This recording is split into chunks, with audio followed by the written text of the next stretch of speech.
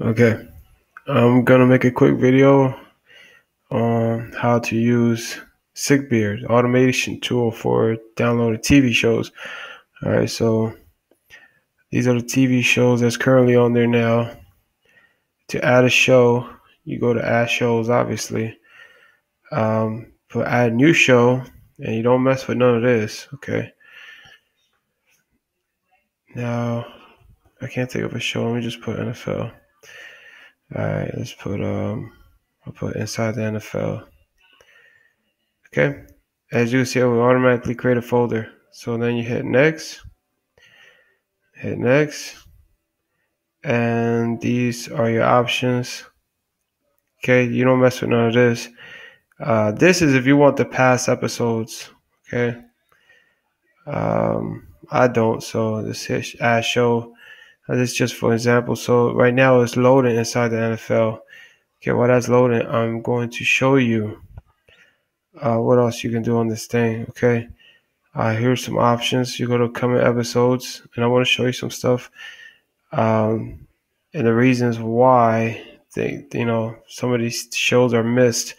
Okay, so when you see this, it says missed, and it starts showing you all these shows. Is because they were considered reruns.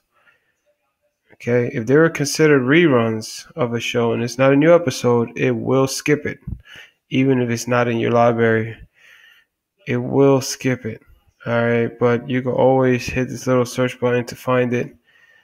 All right, um, you can always like change the view uh, into list. Usually, I like list better because it's more, you know, you see more you can go to history to see what episodes were downloaded. As you can see, Robot Chicken was snatched, uh, John Oliver, Games of Thrones, all these, you know, were snatched. Uh, manage this doesn't really, you know, it shouldn't be messed with. These are all configurations. All right, now let's go to a show so I can show you how to get past episodes. Where's that NFL? You know what? I think I got yeah, SpongeBob. Here we go. Now this one you edit it. Okay, you go to edit and you change the quality. You can put HD. Okay, flattened files mean no folders. That's all it means paused mean that you know you want to pause it you don't want it to download anything um this notification that that's stupid. Uh these are ignored words. Um now these words are ignored. Uh if you you know if i type in something like uh, spongebob season one it will not get season one. So you want to type that in here. And required words is basically like if you want in HD, you write HD and it will search HD. Okay. and these are previous uh, past episodes of SpongeBob.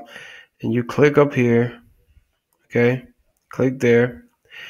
And you go to here and you make sure it is on wanted. All right, this doesn't matter to me because I just put wanted and it'll search for HD version.